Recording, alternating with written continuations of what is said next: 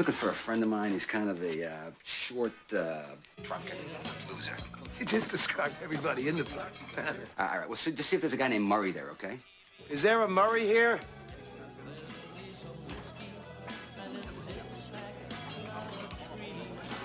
I don't think he's here, pal.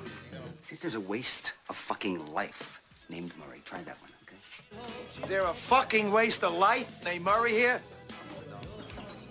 Yes. Uh,